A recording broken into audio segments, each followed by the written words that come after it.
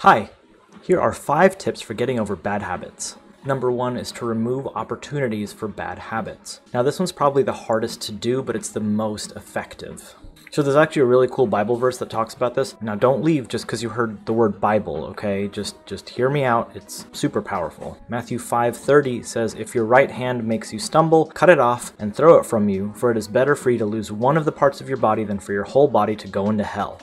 I know, sounds super extreme, right? But like the heart of what that's saying is be willing to inconvenience yourself to make yourself a better person. And so what that means practically is to remove the opportunities for bad habits in your life. And obviously this is different for every person, whether that's moving your gaming computer or gaming console out of the room where you work or where you study so you don't have the temptation to do those things, or putting your phone in a different room while you're working or studying so that you're not tempted to just scroll on your phone. For me personally, I only use social media on my computer where I can have a bunch of Chrome extensions that basically make it so that I don't get trapped into all of these algorithms. For YouTube, I have this extension that just makes it so I can only do search. Otherwise, it's just a blank screen. I don't have any recommendations. It's just my subscriptions and then the search bar, and that's it. No recommended videos, no suggested videos, no shorts nothing. Instagram, I've completely removed Reels and the Explore page.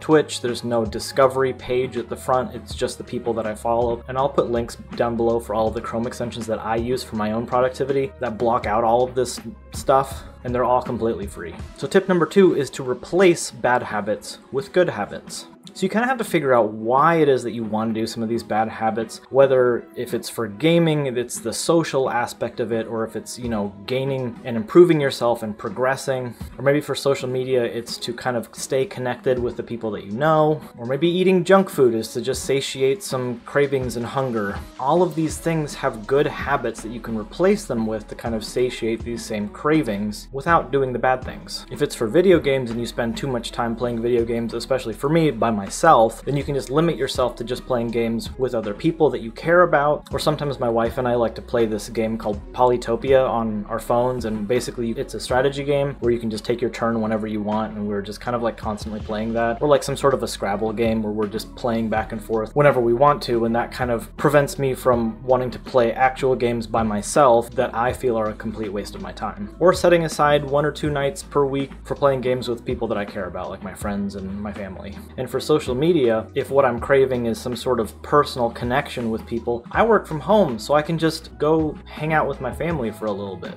And if your bad habit is eating junk food, we'll replace that with eating things that are actually good for you. The number one thing that's an awesome craving killer is vegetables. Eating like a carrot or a celery stick or a piece of broccoli, just having those things on hand makes it so that whenever you're thinking like, oh man, I want some junk food, no, I'll just go like eat an apple or something. And also protein, really upping your protein intake really kind of curbs your hunger and cravings. So those kinds of things you can just replace the bad habits with good habits to satiate those same kinds of things. And the thing is, all of this is a snowball effect. Good habits and bad habits alike. You start off doing a little bad habit and then it snowballs into just you being this lazy scum of the earth.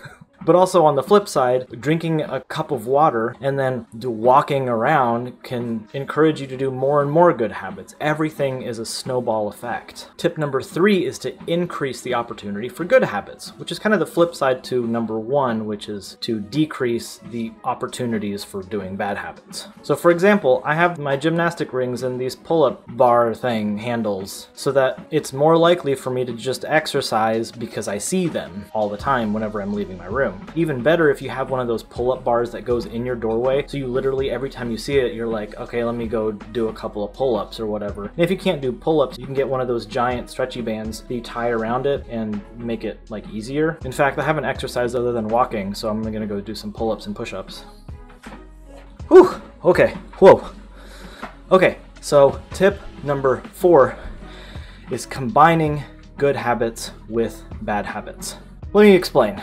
Better way for me to put it is combining good habits with potentially bad habits. So playing video games for me is potentially a bad habit because I can just get sucked into it and do it way too much. But it can also be a good way for me to connect with my friends and family. So it's a potentially bad habit, right? And so for me, what I do is I combine playing video games with walking on my treadmill so that I'm combining a good habit with a bad, potentially bad habit. And there's so many different ways that you can do this. Let's say you feel like you don't have enough time to sit and read fictional novels or to read at all. You can combine that potentially bad habit of getting too sucked into reading and not doing anything else with your life by listening to audiobooks while you're doing some chores or exercising or walking on your treadmill. Link in the description for this treadmill, by the way. Or for browsing social media. Just browse social media while you're exercising or walking on your treadmill. Link in the description for this treadmill, by the way.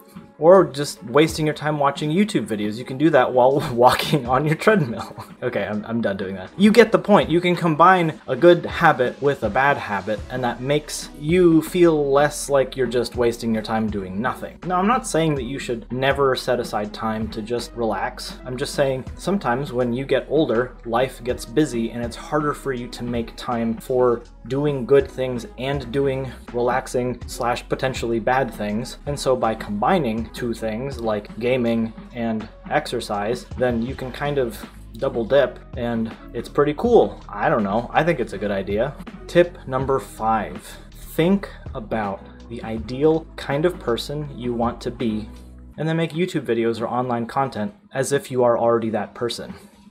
I'm like kind of half joking here, but you see online so many of these people that are these gurus in whatever field they're in, whether it's productivity or self discipline or self improvement, or even YouTube gurus themselves, or people that are like Twitch streamer, gamer, YouTube gurus. Essentially, a lot of these people just started making content as if they're already an expert in that field, and people who want to be better at that thing will watch those videos and therefore create this loop where the person who was making the video was never really successful at those things to begin with, but because they started making videos, people watched them, therefore making them successful at that thing, if that makes sense. Anyway, that's what I'm doing here, so I can't really complain. Ultimately, nobody's perfect. All we can do is take a step or two in the right direction.